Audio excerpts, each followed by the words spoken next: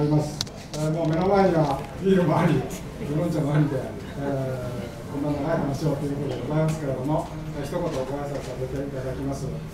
あのー、まあ、今、総選挙のさなか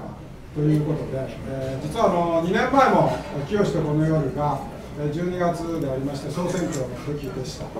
えー、ただ、あのー、選挙官というのは政治活動にややこう規制がありまして、今日は国政の話しちゃいけないよと いう、まあ、ちょっと制限が加わっておりまして、あのそれでもまあ政治資金パーティーということで、えー、まあ個人の政治活動ということで、開催ということで、まあ、選挙あの管理会で話もしてまいりまして、今日開催することができております。まあ、かといってですね、あの2日前のあの世論調査、300議席を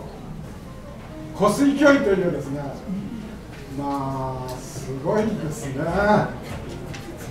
我が日本、まあ、この中にはもちろんいろんな立場の方がいらっしゃると思います、あの私を応援していただけるということと、まあ、国政の政党を応援する、まあ、力がもちろんあるわけですけれども、まあ、どうしてこんなに有権者の皆さんが自民党が大好きなんだろうなというのはですね、あのまあ、世論調査で見まして、まあ、あと8日間なんですけど、なんかやっぱり違う結果がなんか出せないかなと思っております。あのお手元の資料の中に、えー、まあ、静岡1区の各候補者の、えアンケートがあの一応新聞資料です、えー、投票所にぜひ足を運んでくださいと、どなたに投票してくださいとはあの言いませんが、投票所に足を運んでくださいという意味であの入れさせていただきました。投票率が大変低くなるとということがもう予想されておりますので、ぜひ、え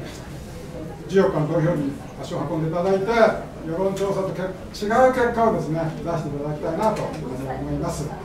であのまあ、私は今、えー、静岡市議会開催中であります。12月1日に市議会の総会質問がありまして、この総選挙がなければ、静岡市長選挙、田辺信弘市長がそこで出馬表明をするということで新聞も大きく書いていただくはずだったんですけど全然もう総選挙でなんか田辺さん何か言いましたねみたいな感じになっているんですね。で、まあ、今回は市長がこの静岡市今後の8年間ということで、えー、自分の考える基本構想それから基本計画というのを議案として30ページぐらいにわたるものを出しておりまして当然ですけど私も質問をし、まあ、10人以上の方がこの市長の姿勢をあの問いただしておりました、まあ、意外に応援した自民党や、えー、連合新政会の皆さんが辛口で田辺市長は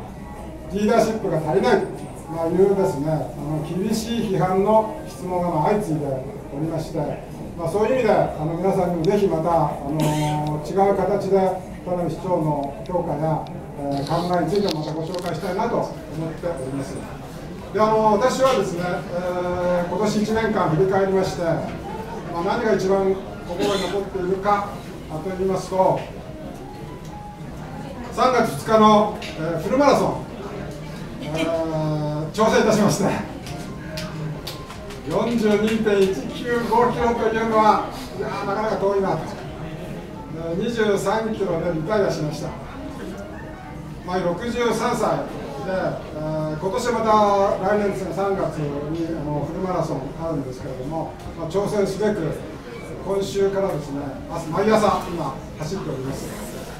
で、えーまあ、42.195キロは、1日にして走り切ることはできませんので、日々精進といいますかトレーニングをして、頑張っていきたいなと思っているところです。あのー、まあ、今年の私の最、まあ、大きな政治的テーマはあの静岡市の、まあ、南アルプスのリニア新幹線が、まあ、通るということで本当に、まあ、今も動いているこの自然大切な南アルプスに世界最大のトンネルが、まあ、できるということで。まあ、非常に大きなテーマでありまして、まあ、このテーマにつきましては、私、まあ、かなり踏ん張りまして、そして、まあ、あのその結果もありますけど、静岡市議会全会一致で、まあ、JR 東海のやり方はいささか、まあ、国家、まあ、日の丸というか、親方日の丸、本当に態度が無礼ですね。まあ、そのあのことについては、一応、議会一致してですね、市長とも一致して、この問題については、やはり静岡の声を上げようということでは、これが今年の最大の大きなテーマとなりました。まあ、あのいずれにしましても、長い話はこれで終わりますが、とにかく今日はあの楽しいお時間、そして今日こんなに大勢集まっていただきました。最初予想したよりも本当大勢来ていただいてるんですね。これは多分この場所のせいだと思いますけれども。私が大変魅力があるということで来ていただいた方ももちろんいらっしゃるかと思いますが、あの私も今日この会場に来まして、本当にあのおしゃれ感覚で、えー、いいなと思って、え、これからなされてくる飲み物や食べ物にも大変期待をしておりますけれども、楽しい時間を過ごしていただきたいと思います。今日どうも本当にありがとうございました。